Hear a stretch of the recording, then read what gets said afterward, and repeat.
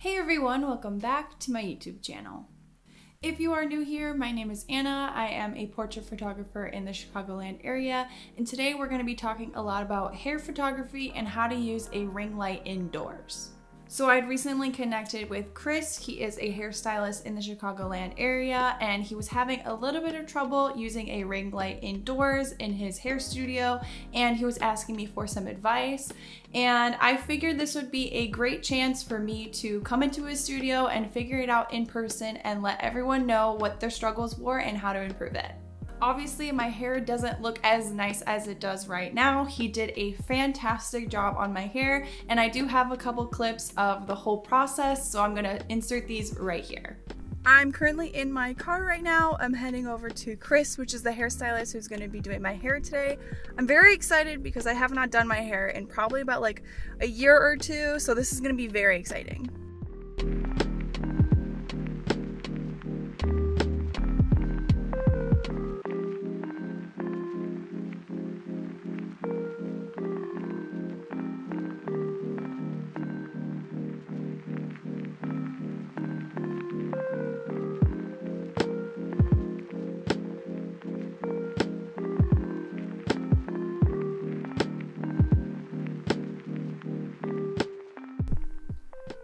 Once Chris was done doing all of my hair, it was time to get started and take some photos inside of the studio.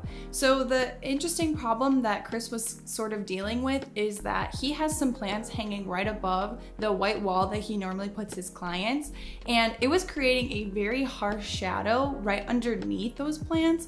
So every time he was taking a picture, the plants and the shadows were very prominent and very dark, so it would be very distracting on his Instagram. Now there is an ability to remove shadows in Photoshop and in Lightroom, but since Chris was using his phone and we wanted to take those pictures right then and there, it's a little bit easier to just make sure you get rid of the shadows first because if you use your phone and start editing into Lightroom and Photoshop, you can reduce the quality of the image. And Chris uses a ring light when he's taking these photos, which obviously was really helpful. And this is something that a lot of hairstylists should consider purchasing if they are wanting to get more higher quality photos for their Instagrams because it's gonna be very directional and it's gonna make it a little bit easier to really show the true colors of the hair. The problem that Chris was having when he was using his ring light is that the ring light was very far from the client and Chris was actually standing in right in front of it. So every time that he was taking the picture, the ring light would be putting all the light directly onto him and he was necessarily blocking that main light that was supposed to hit the client. So that way it was actually creating more shadows than it should have been initially. One of the recommendations that I had for Chris is to bring the ring light closer to the client. Now, I remember Chris mentioning that he feels a little uncomfortable bringing the ring light really close to the client, but if you want to reduce those shadows, it's critical and very important to make sure you bring the ring light as close as possible to the client. Now, if you're doing a photo that is only the back of the head to really just pay attention to the hair, you can bring the ring light as close as possible because the client's not really gonna necessarily see where how the light is and it's really not gonna hurt their eyes. If the client starts to feel a little uncomfortable with how close the ring light is, what I would recommend to the hairstylist or the photographer who's taking the pictures of the hair is to turn on the ring light right away and start inching it back. And every time you do that, constantly ask the client if they're comfortable with that stance. Now, if the ring light is too far and you can't really get all of the shadows removed, what I would recommend is probably getting a second source of light or maybe like a softbox that you can turn on.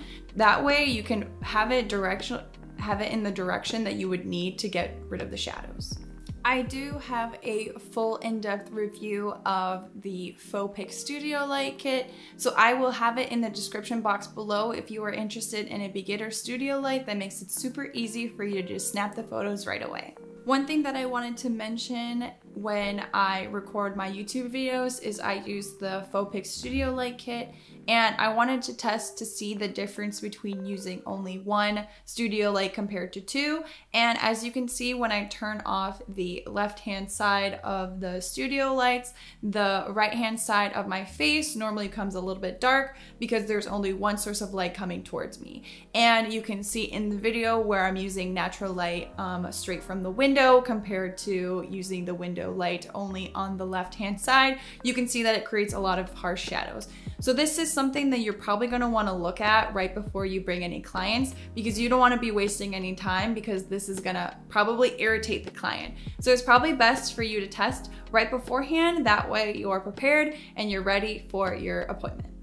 If you are taking pictures outdoors, it's very important for you to find a consistent key light, only because if you don't have a cafe like Chris does right outside of his hair studio, you can run into issues where there's very harsh shadows on the face.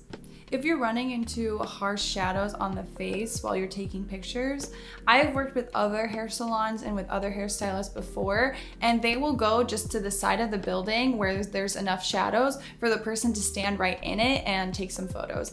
The most important thing that you wanna make sure is that the hair looks good and the person looks good because you're going to be posting this on Instagram and you want to make sure that your client looks as best as possible because you want people to hire you.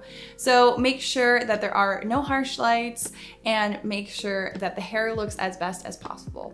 And that concludes the end of this video. If you like this video, don't forget to like, comment, and subscribe and hit the notification bell to get notified every single time I post a new video. I really want to thank Chris for doing my hair. It looks absolutely amazing and he put so many hours into it and I'm so obsessed. So if you guys are interested, he is open to new clients. So feel free to check him out on Instagram. If you like this video, I have similar photography videos in my playlist, which I will be listing in the description box below. And if you guys are interested in my travel videos where you can travel the world with me and see what I do in my free time, that will also be listed listed in the description box below. But that is all that I have for you guys today. I hope you guys are staying safe and I will see you guys in the next video.